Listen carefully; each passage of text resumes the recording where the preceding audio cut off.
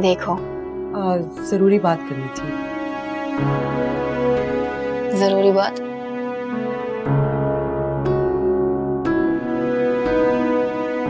बोले। आज रात को तेमीना आंटी डिनर पे आ रही है अपने बेटे के साथ। तो? तो मैं ये चाहती हूँ कि तुम उनसे तमीज से बात करना और अपना हुलिया ठीक करके आना। तो? आपकी गेस्ट है? मिले? नहीं, वो रिश्ते के सिलसिले में आ रहे हैं ना।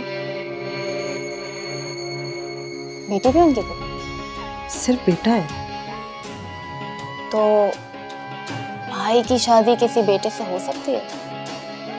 पॉसिबल नहीं। मैं इस वक्त मज़ाक के मूड पे नहीं हूँ। और मुझे पता है कि तुम जानती हो किसके रिश्ते के लिए आ रहे हैं। अगर मुझे पता है वो लोग किस लिए आ रहे हैं तो आप भी मेरा जवाब जानते हैं।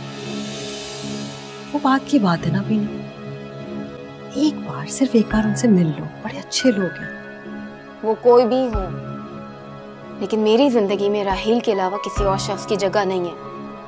और ये बात मैं आपको पहले भी समझा चुकी हूँ अब दोबारा बता रही हूँ ताकि आप मेरी बात को महज जज्बाती पर या आर्जी जोश ना समझें।